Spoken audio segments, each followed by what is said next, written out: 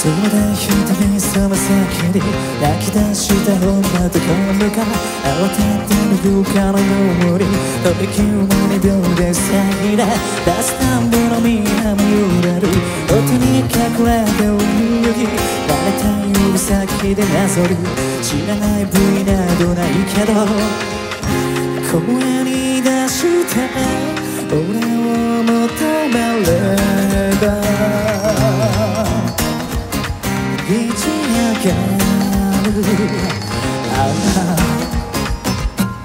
あのキャスクの丸中や消さないでよくを探した一人暗闇で踊る可愛い赤身はたったら師匠を覆すべく夢に出した星があ開くこの午前4時睡魔との混ざりちょうだい